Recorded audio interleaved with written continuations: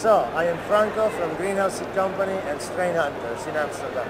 We are now at Spannabis 2016 in Barcelona and we're here to introduce to you our best strains.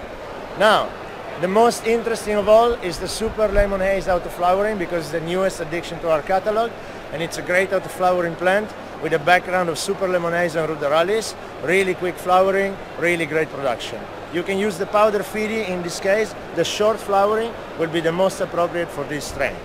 Then we can talk about an indica plant, the King's Kush. The King's Kush is a great favorite of Spain because of the characteristic that resemble the old New York diesel flavor and at the same time that special cushy, the special indica part that really makes you couch lock and stone. And also for the King's Kush, we advise the powder feeding short flowering. And we come on to the special, special winner of these last uh, editions of the last prizes, the Super Lemon Haze. The Super Lemon Haze is the winner of the Social Club Cannabis Cup here in Barcelona in the category Sativa. It's one of the most awarded plants on the planet and for the Super Lemon Haze, we suggest to use the powder feeding long flowering because it's specific for all the Sativa plants.